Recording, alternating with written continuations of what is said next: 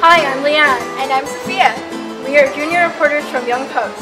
We're here in Macau today for the Macau Heritage Summer Tour. We are joined by 40 students who were shortlisted from the Macau Heritage Drawing Competition. This is one of them.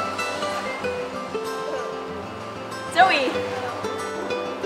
呢度就係議事亭前地，咁澳門嘅居民就叫地方係位於澳門嘅市中心，咁佢建築物係喺十九世紀末二十世紀初建成嘅，咁好有南歐嘅風情，所以我覺得呢度真係好靚㗎。